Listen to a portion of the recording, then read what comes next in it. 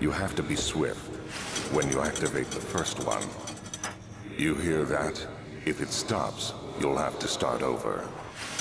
Isn't all this a bit excessive?